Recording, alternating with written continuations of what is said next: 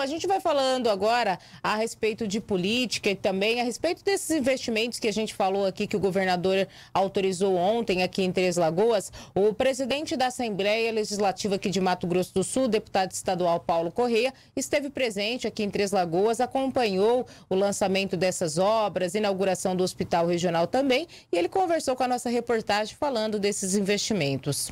Muitas obras e eu estou impressionado com o o tanto de obra que nós estamos lançando e entregando, né?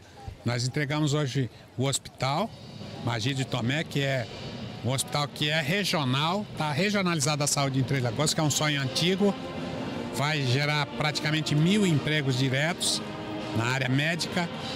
Ainda bem que temos aqui a Universidade Federal do Mato Grosso do Sul formando médicos em Três Lagoas, o curso de medicina aqui. E a gente foi agora olhar a 320, que encontra a 387, que vem lá de Inocência, né? E que vai ligar, linkar a segunda, nesse primeiro momento, a segunda maior fábrica de papel e celulose do Mato Grosso do Sul, que é a Arauco, que assinamos o convênio ontem. Então, são boas notícias para Três Lagoas nesse momento que todos os estados estão meio capenga, Mato Grosso do Sul está em cima da pinta, porque o governador Reinaldo Zambuja tem feito um grande trabalho, aqui em Três Lagoas em especial, com Ângelo Guerreiro, nosso prefeito, dos cinco melhores prefeitos do Mato Grosso do Sul, e que a gente tem assim a satisfação de poder dizer que nosso estado é diferente. Aqui a coisa anda, porque tem pessoas com boa vontade para trabalhar, tem pessoas com vontade de fazer acontecer. E esse é o diferencial. Como que a Assembleia Legislativa também tem um papel importante para esse desenvolvimento do Estado, né? Porque muitos projetos precisam do aval dos deputados, então a Assembleia tem esse papel também, né? Gostei muito dessa pergunta. Muito obrigado. Claro que tem. Aonde tem qualquer obra do governo, tem um dedo do deputado estadual. Todos os projetos têm que passar na Assembleia e a gente faz um destaque no orçamento. Estamos discutindo isso agora, a LDO, Lei de Diretrizes Orçamentárias, a gente vota e depois no final do ano a gente vota o orçamento. Então, tudo que acontece a gente está sabendo. O governo Reinaldo é um governo transparente, é um governo exemplar que colocou o Mato Grosso do Sul como o segundo estado mais desenvolvido do país no momento de dificuldade de pandemia. Nosso estado está crescendo e mais, estamos pagando pessoal em dia e nós estamos pagando fornecedor em dia. Essa própria MS 320 que fomos agora é um primeiro trecho. É, são três trechos, vão ser divididos 37 quilômetros em três trechos. O primeiro trecho foi lançado e o governador fez um desafio à empresa, que acho que é paulista, que pegou o trecho, que se adiantar o cronograma, ele paga na frente porque o dinheiro está em caixa. Bom, mas uma outra rodovia também que tem uma reivindicação antiga para sua duplicação é a BR-262 e a gente sabe da importância desta rodovia para o desenvolvimento regional também, principalmente agora com essas fábricas de celulose. O senhor, quanto presidente da Assembleia, tem se empenhado também para que a duplicação dessa rodovia ou para que seja entregue à iniciativa privada possa acontecer? Sim, estamos fazendo uma reunião na Assembleia Legislativa no começo de julho a pedido aqui do vereador Tonhão, da Câmara Municipal de Três Lagoas, é, do Ângelo Guerreiro, nosso prefeito, de Água Clara, nossa prefeita Gerolina, de lá de Ribas do Rio Pato também, que está acontecendo um investimento fantástico, 15 bilhões de reais em Água Clara, 10 mil funcionários naquele canteiro de obra da Suzano. Então, tudo isso empurra para que a BR-262 seja duplicada. Será que a gente consegue? No momento que a gente vê dificuldade no país, a gente tem que começar o movimento. Bancada federal vai estar participando da audiência pública na Assembleia e nós vamos fazer esse movimento para formação de opinião, porque por enquanto é a BR 262.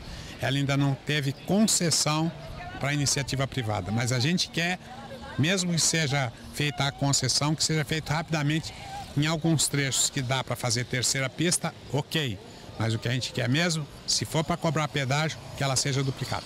E os investimentos em ferrovia, o senhor está confiante para que isso realmente possa acontecer? Com certeza. Nós temos duas principais ferrovias sendo trabalhadas nesse momento.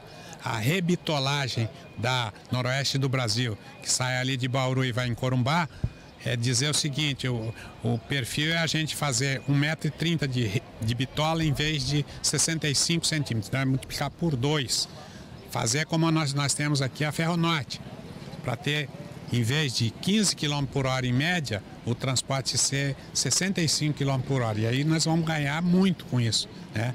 E as ferrovias foram esquecidas pelos governos. E é uma coisa muito especial a gente ter essa ferrovia. Segunda ferrovia importante, uma ferrovia que sai de Maracaju e vai ao porto de Paranaguá.